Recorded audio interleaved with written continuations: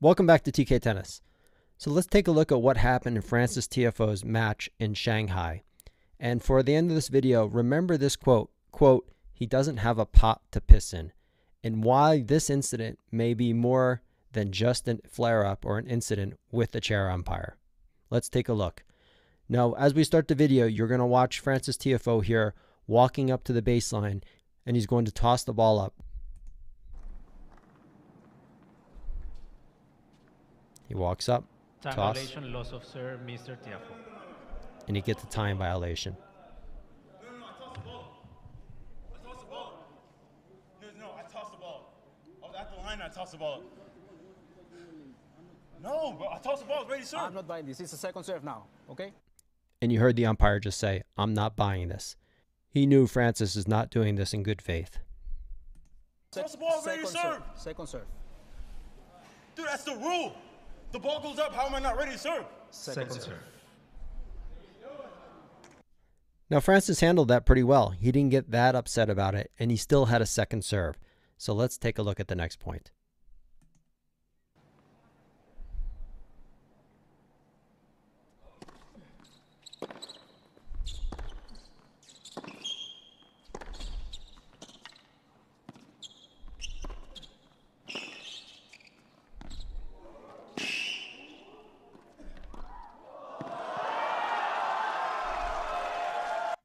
So he hit a good second serve. He had several opportunities to win that point.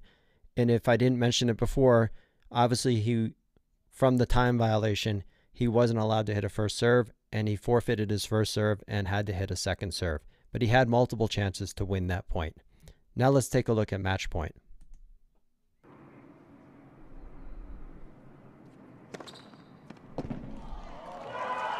Game, set, uh, match Safiullin. And just like that, the match is over. And here's where the F bombs start to fly. Six. You, man. You. Seriously, man. You. This is this f***ing match.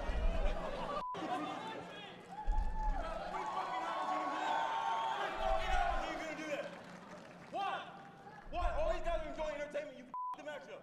Great f***ing job.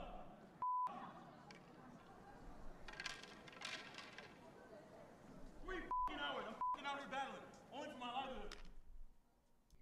Now, if you were counting, that was a barrage of 11 F bombs. But more importantly, did you hear that quote that he said at the end? I'm out here for three hours fighting for my livelihood. Now, you might be thinking, well, he's a top 30, top 20 tennis player, and he makes millions of dollars. And that's somewhat true. But is he really fighting for his livelihood? And you're probably thinking, he's not fighting for his livelihood. He has plenty of money. Let's take a look at that. Does he really? So let's take a look at his earnings. This year, his win loss is 30 and 22, and he's made two and a half million dollars in prize money. Of course, doesn't that does not include his sponsorships, but his career is 207 and 187, so he's a little bit over 500. So he wins maybe 55, 60% of his 60% of his matches, and his total earnings, prize money, twelve million seven hundred and seventy-three thousand dollars. So you might so you might be thinking, that's a shit ton of money. He has plenty of money, plus his sponsorships. But t- bear in mind, he's turned pro in 2015, so he's been on the pro tour for nine years. And when you factor in when you have a coach, a physio, all your travel, all your hotels, everything that these players pay for on their own dime, and that includes includes their coaching, their food, their physio.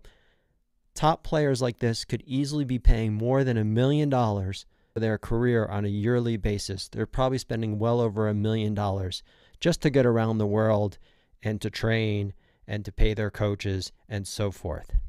Now you remember that quote I said, quote, he doesn't have a pot to piss in?